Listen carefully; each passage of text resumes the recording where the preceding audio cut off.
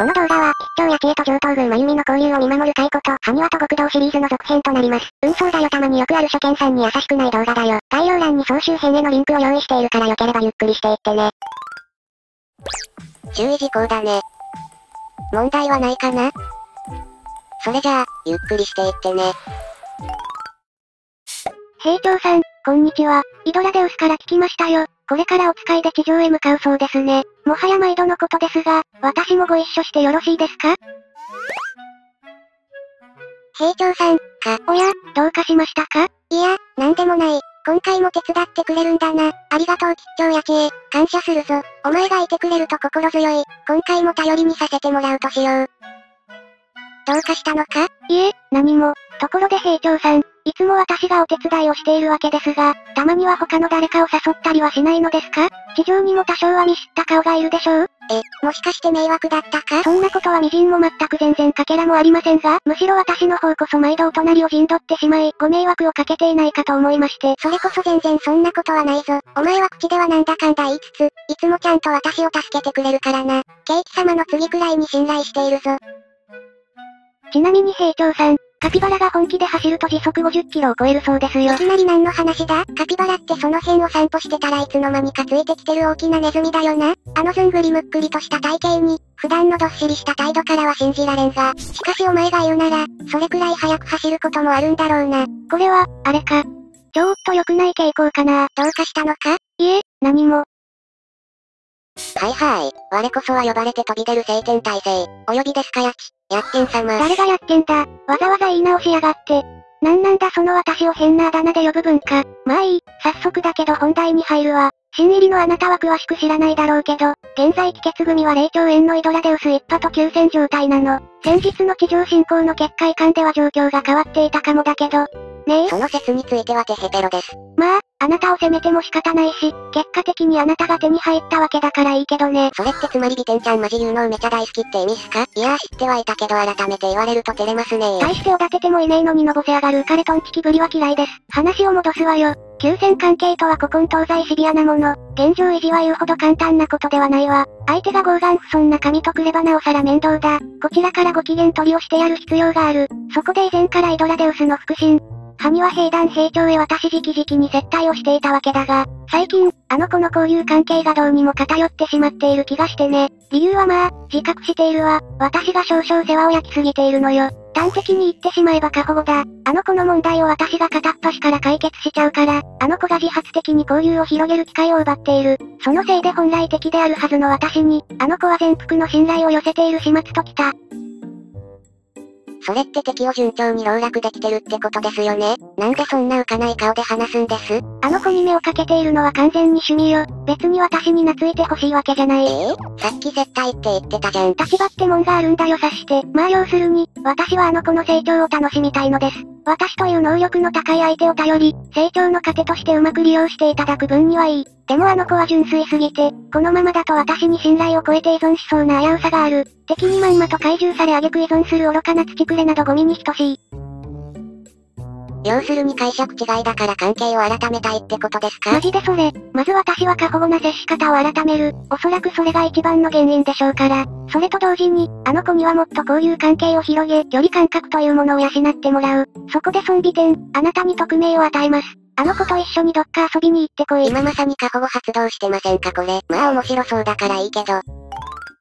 ってなわけで、我こそは気血組期待の新入り。何を隠そう、かの聖天体制孫悟空の生まれ変わり、孫美天ちゃんだ。仲良くしてね。ハニワの親分さん。わーおめっちゃ警戒されてる私は上等軍真由美。ハニヤス神ケーキ様の作品であり、ハニワ兵団の兵長を務めている。よろしく。うーむ、硬いのああ、ハニワって土とか固めて作るんだっけ？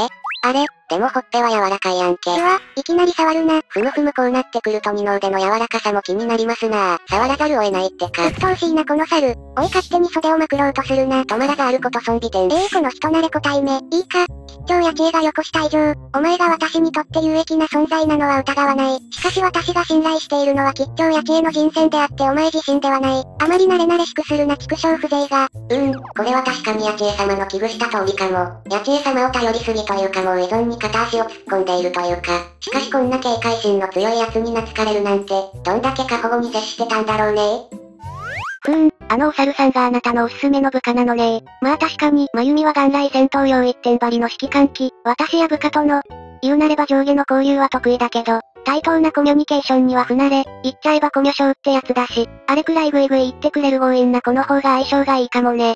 少し声のボリュームを下げなさいイドラデウス。兵長さんはあなたの声に敏感なんでしょう？はい、お忍びお忍び。それから、美点を選んだ理由は相性だけではありません。彼女は程よく面倒見がいいというか、なんかこういい感じにお人よしなんですよ。彼女が帰結組に入った目的はすでに果たされた。もう私の部下を続ける義理などないくせに、残務様に虚無らされて無気力になっていた私を心配して、帰結組への残留を決めたくらいです。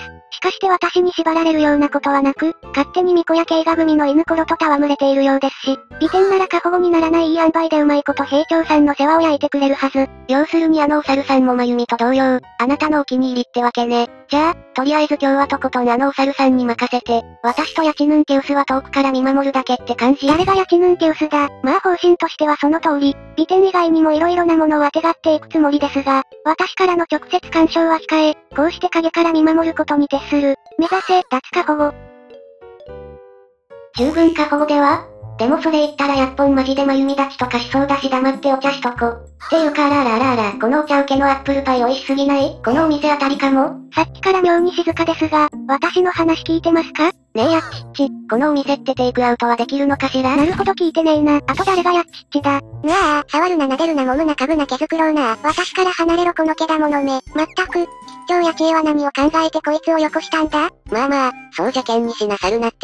そうだ、とっておきの一発芸を見せよう。なんでそれが面白かったら私たちはフレンズ。いや本当になんでそれではヤチエ様を宇宙猫みたいにした我が最強のモノマネ一発芸を食らうがいい。と話を聞かないなこいつ。行くぞ、カブトムシの鳴き真似。カブトムシの鳴き真似？チチチチチチチチボー。か、カブトムシの鳴き真似あれコロトックの鳴き声よね。なんでわかるんですかさあ、まゆみん、私のモノマネはどうだったまゆみん、それ私のことかうん、あだ名は仲良しの証だぜ。なあ、ちょっと聞きたいことがあるんだが。お、なになにゾンビ店と言ったな。お前は吉祥八千恵になんと呼ばれている？八千恵様から？普通に美店って呼ばれてるよ。そうか、普通に名前か。私は未だに肩書きで呼ばれているんだ。あだ名は仲良しの証。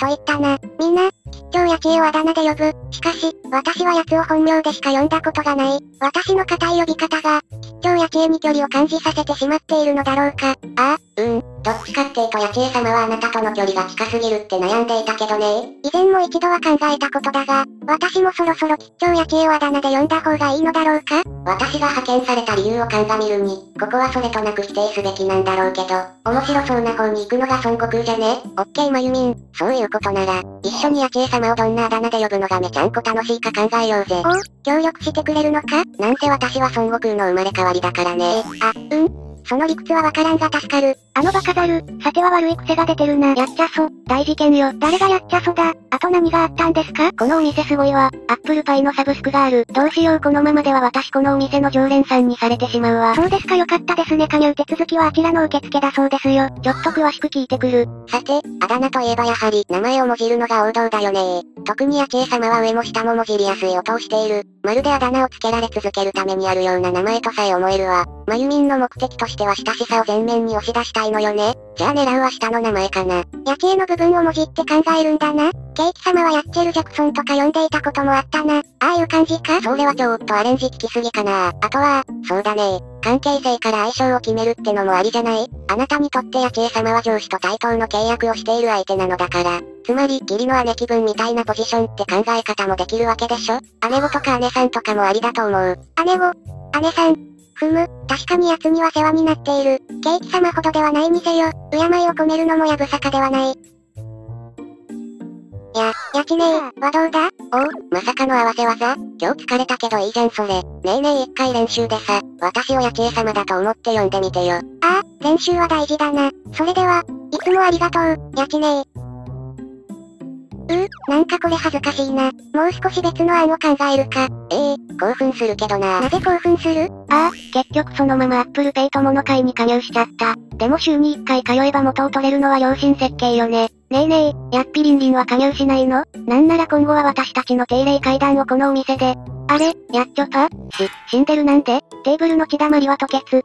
いや、トートケツか？そしてこの幸せそうな死に顔。さてはまゆみがなんか可愛いことしてやちぴちの脳のキャパを超えたのねこの声は、え、ケイチ様がなぜここに？やっべ騒ぎすぎた。ここは一時撤退するとしましょう。同程度トン、埴輪学れの10分。あお客様困ります店内でドトンはお客様やっちさんはなんかもう色々どうでもよくなったし、ケイチ様はサブスク加入早々で金をくらいかけたらしい。